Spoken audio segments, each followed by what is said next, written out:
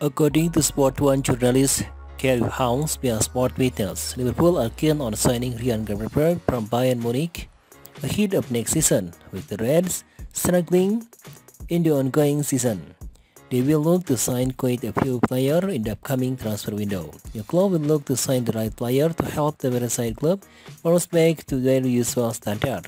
20 years old midfielder Ryan Gravenberch of Bayern Munich is a part of his transfer target list.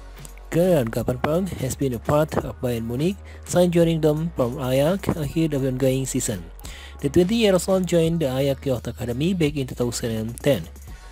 He has come up throughout the ranks at the Dutch club before making a move to German giant.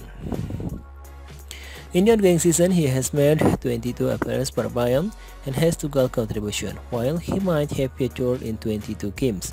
In reality, he has only been on the pitch for chance to about 600 minutes. The Netherlands international is a class player who is looking to get more game time in the upcoming season.